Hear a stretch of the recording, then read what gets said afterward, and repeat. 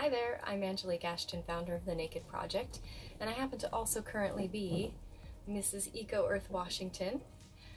But I'm speaking to you today as just the wife of someone who has MCS. MCS has changed my life in so many ways I can barely even put into words. And I could talk for hours about all of the things that I have lost and I have grieved over.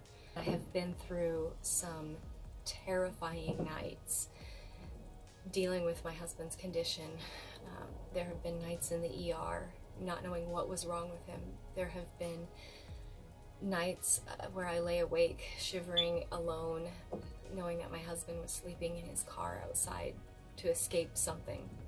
And in the early days after his diagnosis, uh, it almost destroyed our marriage. In fact, a lot of marriages don't survive an MCS diagnosis. So we are really one of the lucky ones, and we know that.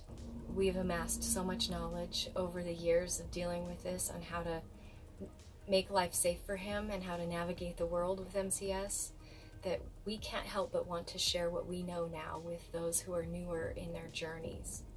So, in spite of everything that MCS has taken from my life, it's also given me one thing, and that's a fight to fight. MCS has given me what is now very clear to me to be my mission in life.